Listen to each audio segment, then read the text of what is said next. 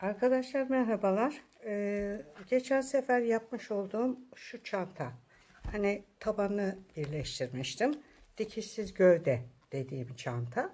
Ee, ben bu sefer elimdeki derilerden e, bir kapak yapmayı düşünüyorum. İpimi yukarıya kadar çektim ve e, bunu bir kenara alıyorum. Şimdi şöyle bir kapak hazırladım arkadaşlar. E, çantaya uygun. Bunu şuradan şöyle keseceğim.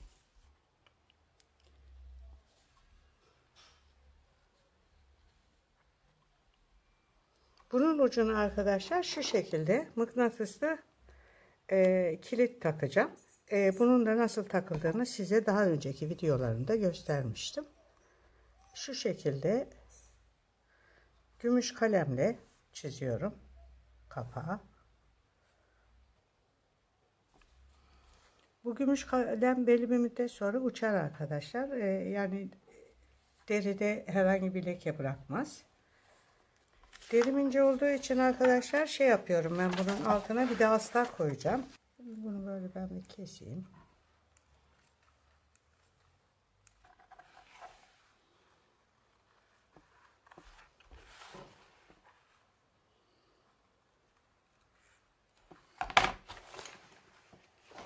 Evet.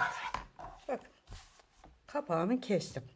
Kapağı şu şekilde yapacağım arkadaşlar. Arka kısım şurası farz edersek şu kısımlardan bildiğimiz yöntemle diktikten sonra bunu şuradan şöyle getirip şu ön kısma şu kısma şu şekilde e, mıknatıslı e, kilitle tutturacağım şuraya.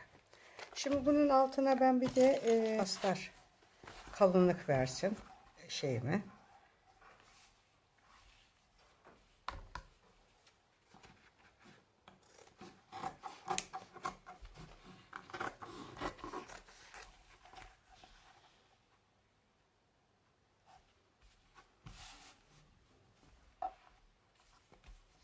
Şimdi bunu buna önce yapıştırmam gerekiyor. Yapıştırmak için de arkadaşlar şu şekilde bir ben T28 kullanıyorum. Siz başka deri tutkalı da kullanabilirsiniz.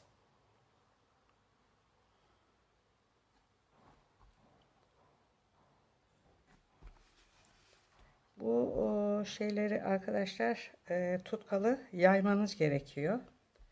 Yaymazsanız kuruduktan sonra derinin üzerinde e, böyle top top görüntüler oluşur. Onun için bir fırça marifetiyle ya da şöyle benim kullandığım gibi bir fırçanın sapıyla bunu şu şekilde yayın. Mümkün olduğu kadar elinize temas etmeyin arkadaşlar. Bunlar kimyasal olduğu için zaten kokusu bile berbat bunun. Dikkat edin. Mümkün olduğu kadar bunu açık havada yapmaya çalışın. Şöyle yaydıktan sonra biraz havalanmasını bekliyorum. Bakın birazcık havalanmasını bekledim ve bunu yapıştırıyorum.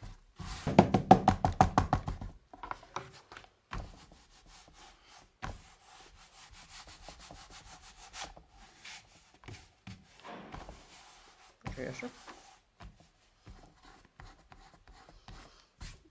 Evet. Bunu şimdi arkadaşlar buradan keseceğim.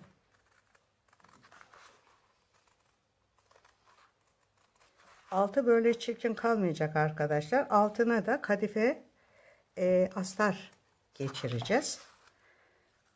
Ama kadife astarımızı geçirmeden önce kilidimize takmamız gerekecek. Şimdi ben buna bir de astar keseyim.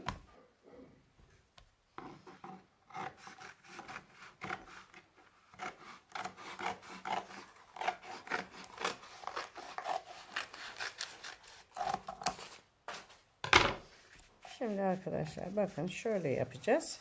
Bunu şu şekilde yapışacak. Tersten şu şekilde yerini belirleyeyim. Bakın kilidimizi şöyle tutacağım. Ortalayacağım. Ve şu kısma gelecek şekilde kilidimi takacağım arkadaşlar. Şuraya. Şuraya kilidimi takacağım.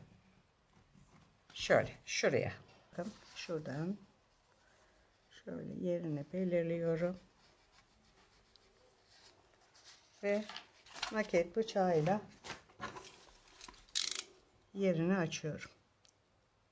Şöyle ve şöyle. Buradan geçiriyorum. Metaller içeride kalacak arkadaşlar. Dikkat ettiyseniz. Dışarıya bırakmıyorum. Şöyle taktım. Bunu bu şekilde getirip eğer alan genişse arkadaşlar dışarıya doğru yapın. Eğer alan darsa yani bunu böyle bu şekilde yaptığınız zaman şuradan bir yerden gözükecek pozisyonu varsa şöyle içeriye doğru katlayın. Şöyle. Yoksa dışarıya doğru katlayın. Ben şimdi bunu bu şekilde katladım.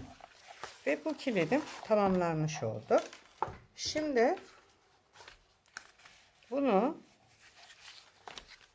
buraya yapıştıracağım.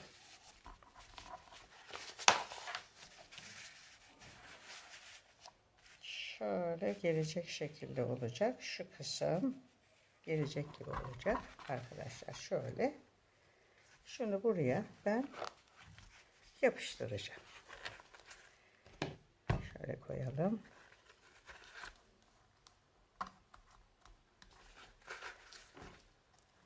Yapışık kanlı astarı yapıştırırken arkadaşlar bölüm bölüm yapın. Çünkü yaparken şöyle oluyor. Ee, gerçekten çok fena tutuyor. Şimdi şurasıydı. Aşağı yukarı ortalama burası. Şimdi ben bu kapağımı dikeceğim. Önce bir kenarlarındaki şu fazlalıklarımızı bir keselim.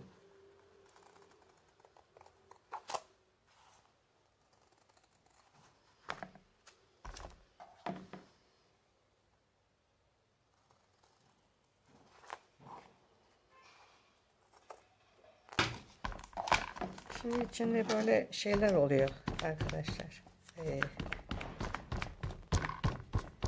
tüy veyahut da ne bileyim kağıt parçaları falan yapışıyor ya.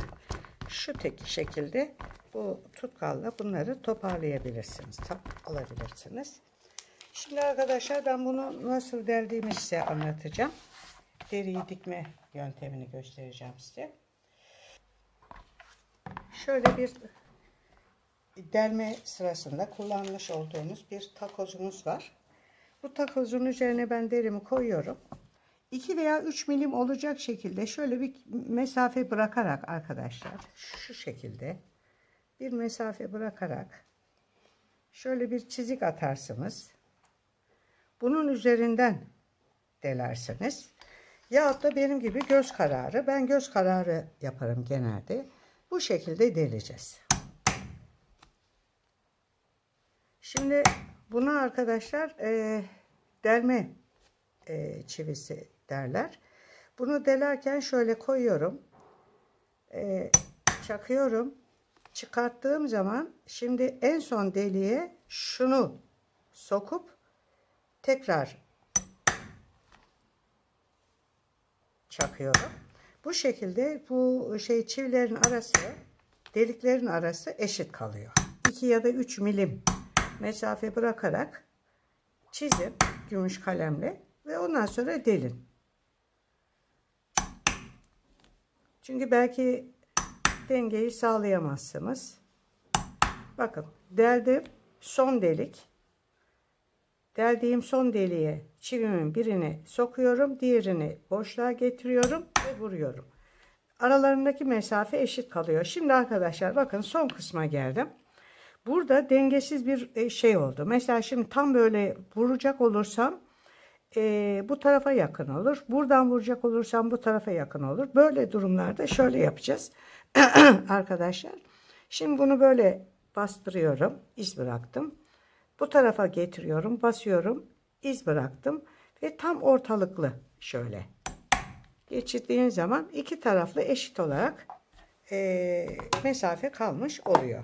Çantayı diktiğim ipi kullanacağım. Ama bunu önce benim bir mumlamam gerekiyor. Şöyle bir bal mumum var arkadaşlar. Eğer mumlu ipiniz yoksa bal mumu çevrenizde en yakın bir ayakkabıcıya gidin. Onlardan alabilirsiniz. Şu şekilde bal mumuyla ipimi mumluyorum. Benim bal mumu da mumluktan çıkmış zaten. Şimdi arkadaşlar bu derinin etrafını ben çevre çevre normal diki, deri dikişiyle dikeceğim.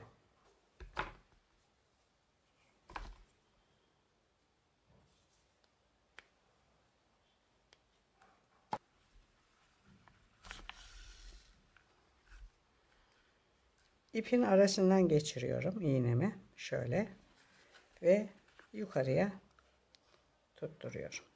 Bakın arkadaşlar. Şimdi şöyle yapıyorum. İpim bu şekilde duruyor. İpim şu şekilde duruyor. İkisinin arasından çıkarttım arkadaşlar. Bakın. Gördünüz mü? Yakaladım ipi. Elimle sıkıştırdım. Tepeden soktum. Aradan geçiriyorum. Bakın. iki ipin arasından geçiyorum. Hem yukarıdaki şu kısımları daha temiz gösterir bu dikiş. Hem yani şuradaki kusurları kapatır. Ee, kenar boyamaya gerek kalmaz bu tip dikişte. Bakın ipimi bu şekilde tutuyorum.